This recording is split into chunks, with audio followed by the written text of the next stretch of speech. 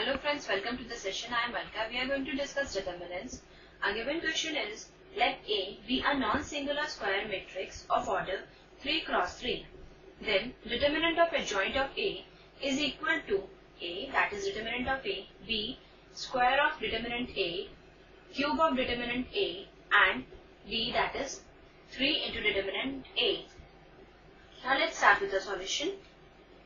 The basic idea behind the question is if A is a non-singular square matrix of order n, then determinant of adjoint of A equal to determinant of A to the power n minus 1.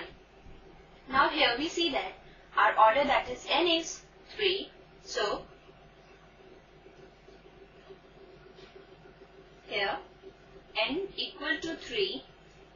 So determinant of adjoint of A equal to determinant of A to the power 3 minus 1.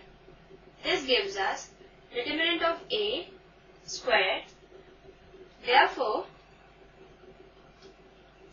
therefore B which is square of determinant A is the right answer. Hope you understood the solution and enjoyed the session. Goodbye and take care.